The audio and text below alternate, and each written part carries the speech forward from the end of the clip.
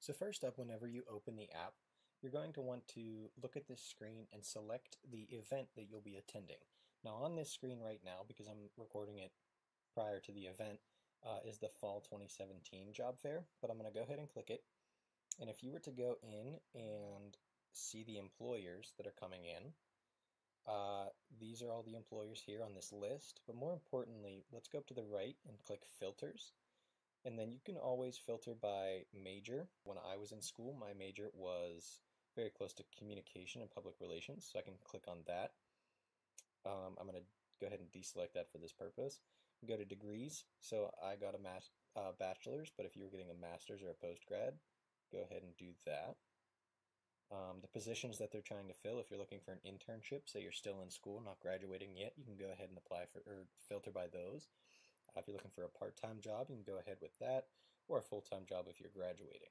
Secondly, you can see if they're recruiting veterans. Um, you can only select yes, but that's a nice little way if you are a veteran that's attending the fair. Go ahead and uh, see which employers are recruiting veterans. And then lastly, we have international student opportunities. Uh, so we have internships, we have visa sponsorship, and then we also have one year of work and uh, those are the different filters, and you can always click on the very top right and click Clear Filter. Go back to Majors and select whichever you want. So another really great feature that you can use within the app is uh, going and taking notes on different employers.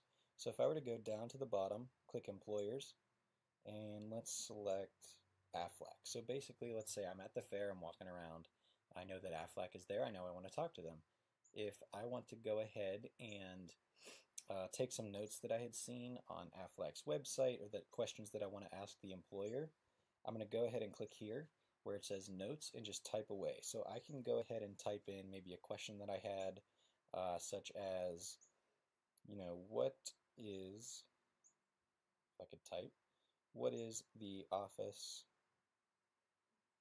culture like at AFLAC.